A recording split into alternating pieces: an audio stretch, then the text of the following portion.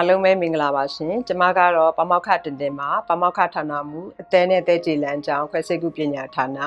စေတက္ကသိုလ်တရန်ကုန်နဲ့ဂရင်900အထူးကုစေယုံကြီးမှာဖြစ်ပါတယ်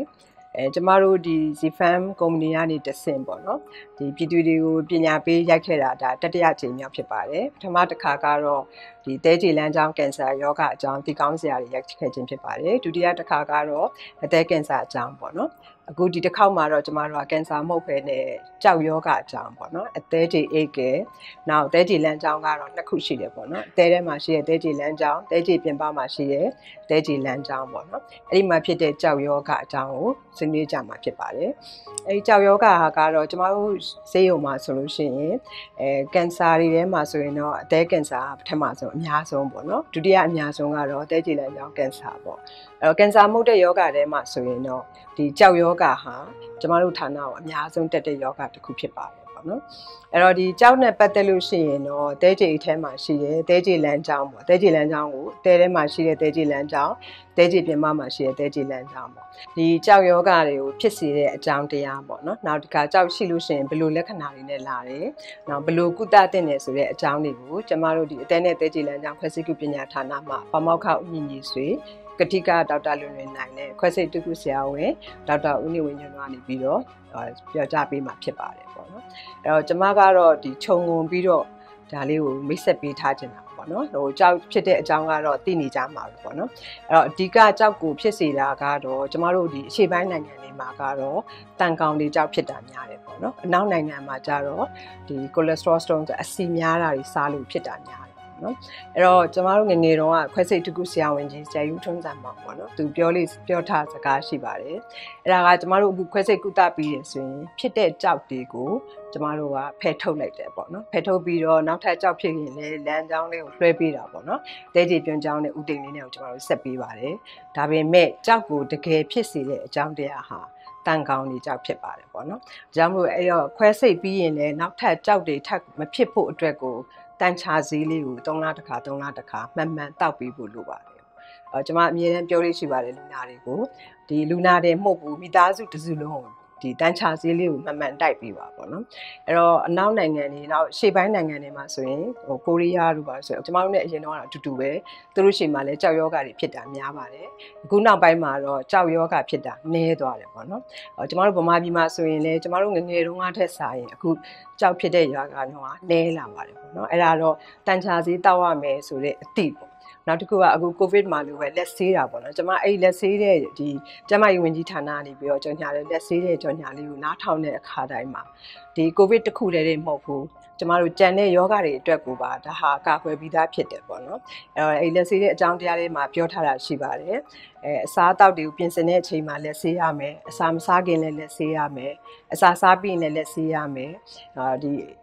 ပေါ်ပါတွေပါသွားပြီးတဲ့အချိန်မှာလည်းအဲတွားလက်သွားပြီးတဲ့အချိန်တိုင်းမှာလည်းလက်ဆေးရမယ်ဆိုတာပေါ့နော်အဲ့ဒီဟာလေးကိုလူတိုင်းကလိုက်နာလိုက်မယ်ဆိုလို့ရှိရင်ဒီတန်ကောင်လေးကြောက်ဖြစ်တဲ့ကြောက်တွေဟာကျမတို့ရှိလာမှာမဟုတ်တော့ပါဘူး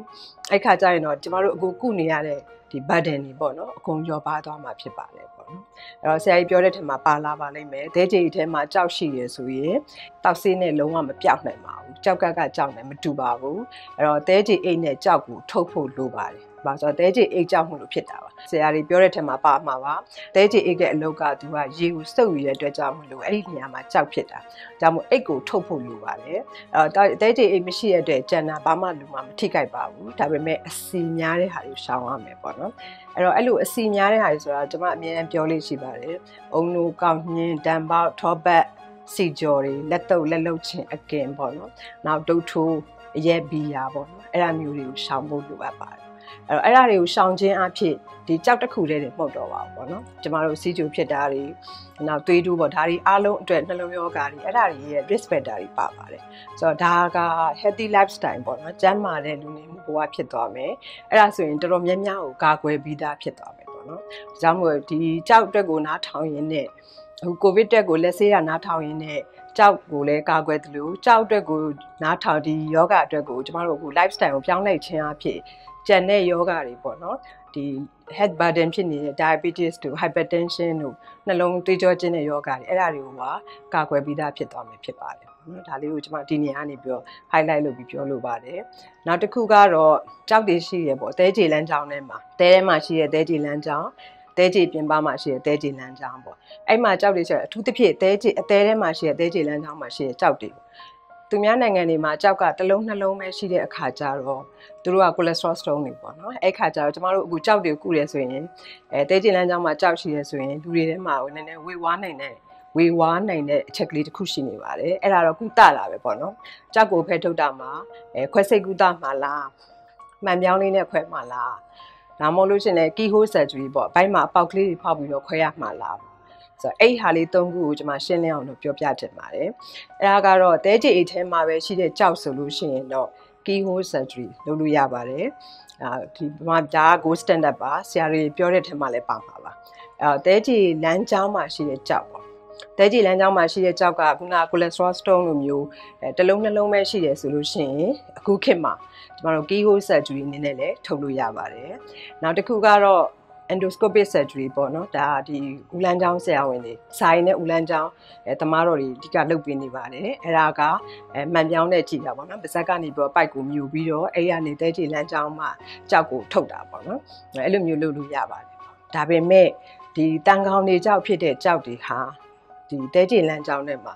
အများကြီးရှိနေမယ်တခါတလေကြားလို့ရှိရင်တစ်ဂိုင်းလို့ဖြစ်နေတာပေါ့နော်အဲ့လိုမျိုးဖြစ်နေတဲ့ဟာမျိုးမှာတော့ ခွဲစိတ်ကုသတာကလွဲလို့ဘိုက်ကိုဖွင့်ပြီးတော့ခွဲစိတ်ကုသတာလွဲလို့ကျန်တာလို့လို့အကျိုးမရှိနိုင်ပါဘူးအဲ့ဒါကိုအဲ့လိုမလုပ်ဖဲနဲ့ထားခဲ့လို့ရှင်အသေးချောက်တဲ့ဟာဖြစ်သွားပါလိမ့်မယ်အဲ့တော့ဒီကြောက်တွေကြောင့်မလို့အသေးချောက်ပြီးအသေးချောက်သွားပြီးအသေးကျုံသွားပြီးဆိုရင်တော့ဒါဟာသူ့အတွက်ကုသမှုဟာအသေးစားထူတာပဲအကောင်းဆုံးဖြစ်ပါတယ် အဲ့တော့ပတ်သက်တွေကုန်ကြပါလေလူကလည်း quality of life ကလည်းတာမန်ထက်တော့ရော့ကြတယ်ပေါ့နော်ဒါကြောင့်မလို့အဲ့လိုမျိုးဟာဆိုရင်တော့အချိန်မီ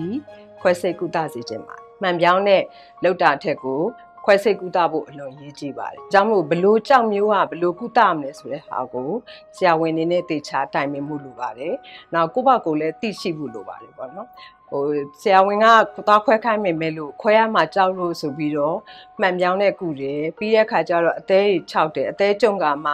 ရောက်လာတဲ့အခါကျလို့ရှိရင်အဖြေချင်းကလုံးဝမတူပါဘူးအဲ့ဒါလေးကိုလည်းကျွန်မဒီနေရာမှာရှင်းအောင်ပြောပြချင်ပါတယ်။တဲကြေလန်းကြောင်းထဲမှာရှိတဲ့ကြောက်အဲ့ဒါကြားလို့ရှိရင်တော့ခွဲစိတ်ကူးတာတာတော့မှကုံအောင် လုပ်ဖို့ကခက်ပါတယ်။ဘာလို့လဲဆိုတော့အဲ့တဲကြေလန်းကြောင်းက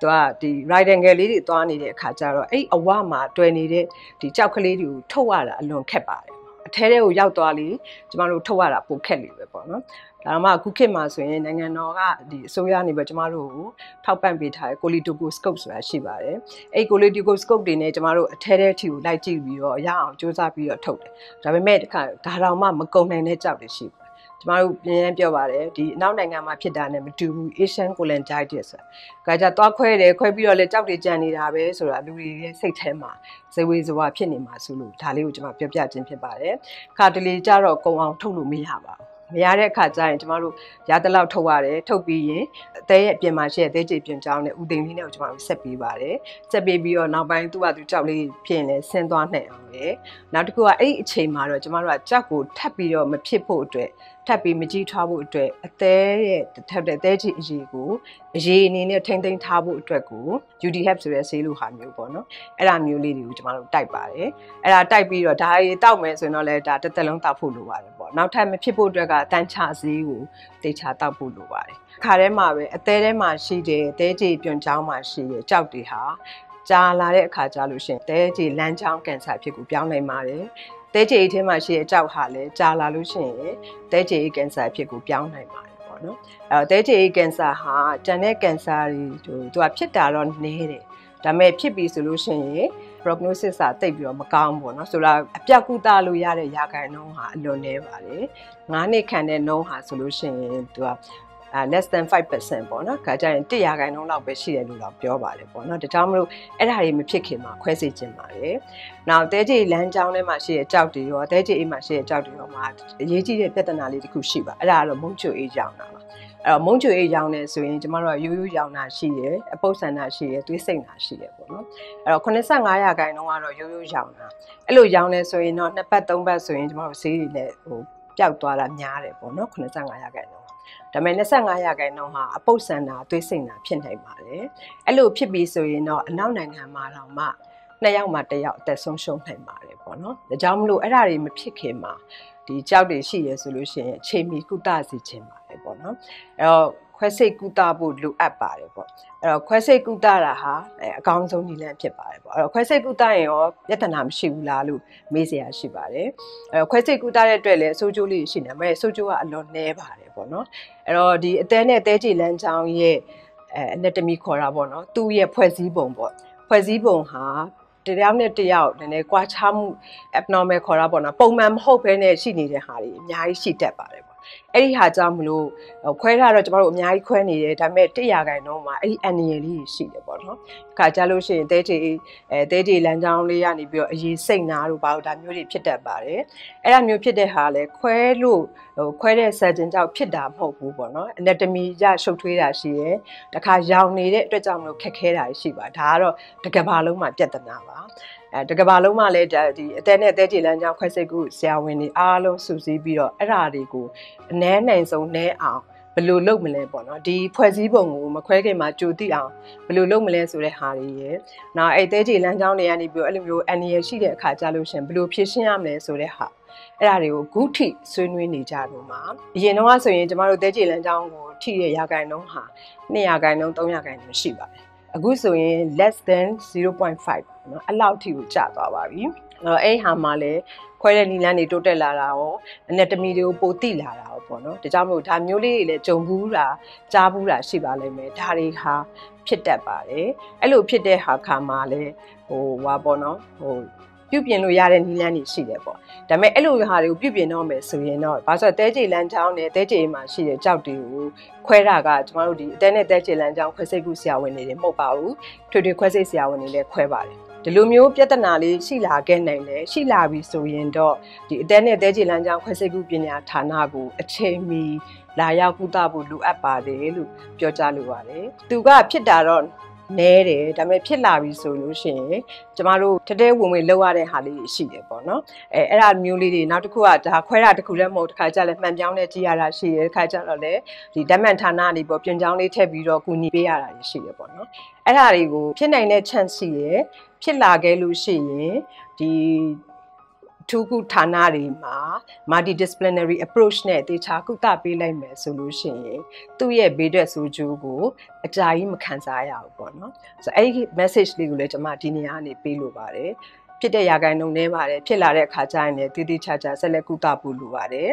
အဲနောက်တစ်ခုကတော့ကြောက်ရှိရဆိုရင်ခွဲစိတ်ကုသဖို့လိုအပ်တယ်ခွဲစိတ်ကုသတာတစ်ခုတည်းဟာ ပြီးတာမဟုတ်ပါဘူးနောက်ထပ်ကြောက်တွေထပ်မဖြစ်ဖို့အတွက်ကိုတန်ချာဈေးလေးကိုတေချာတောက်ပေးဖို့လိုပါတယ်လက်ဆေးတဲ့အကျင့်ပေါ့နော်အဲ့ဒါလေးပြုလုပ်ပေးပါလို့ပန်ကြားရင်းနဲ့ပဲကျွန်မဒီကြောက်ယောဂအကြောင်းပြောတာကိုဒီကုန်းချုပ်အပ်ပါတယ်ရှင်